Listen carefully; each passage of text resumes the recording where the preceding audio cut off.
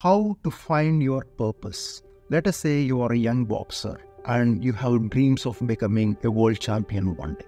Imagine I give you a foresight option. So now you can look into the future 20 years forward and find out whether you actually succeeded or not. Now, if you can find out that you actually succeeded as a boxer, you became a world famous boxer. Now you will continue boxing. Now imagine you looked into the future and you found out that you failed to become a good boxer, would you still continue? Now, if the answer to that question is no, that means boxing is not the purpose of your life. But if the answer to the question is yes, that means boxing is the purpose of your life. When I say, why would I continue to do this? Despite knowing for sure that I am not going to succeed, that means that is something that you are passionate about you are passionate about doing certain things because you don't care about the outcome of those things, but you'd rather enjoy the process of doing those things. That would give you purpose. When you don't depend on external